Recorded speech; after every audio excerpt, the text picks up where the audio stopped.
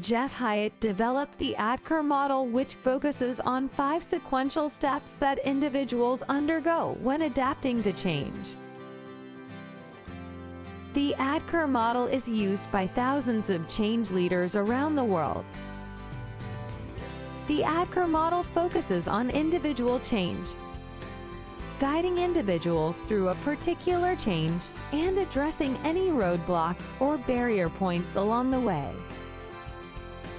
Organizational changes often fail because employees don't understand the importance of getting on board the change or how to successfully make the change. They simply understand that a change is happening. And leaders are often not equipped to engage individuals effectively during the change.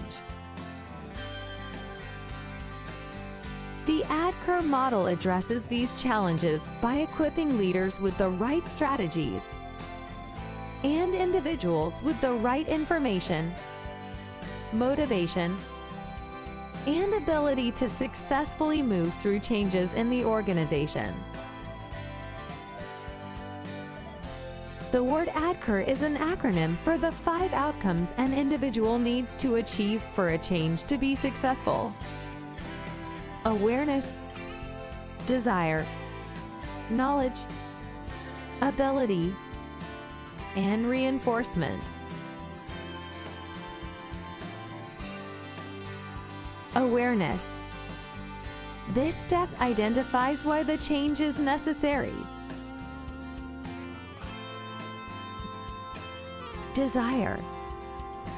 Once people know why the change is necessary, there needs to be a desire to be part of and support the change.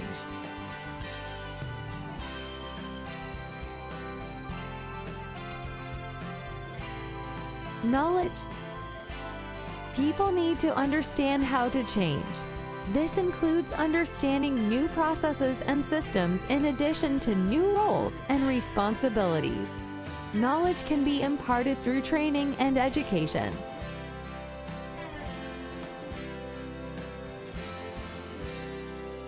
Ability In this step, knowledge is supported with hands-on practice.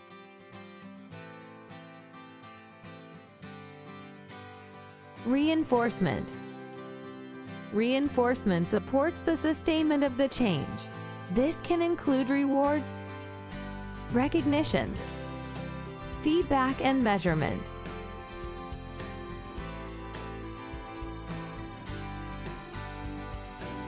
By outlining the goals and outcomes of successful change, the ADKAR model enables leaders and change management teams to focus their activities on what will drive individual change and therefore achieve organizational results.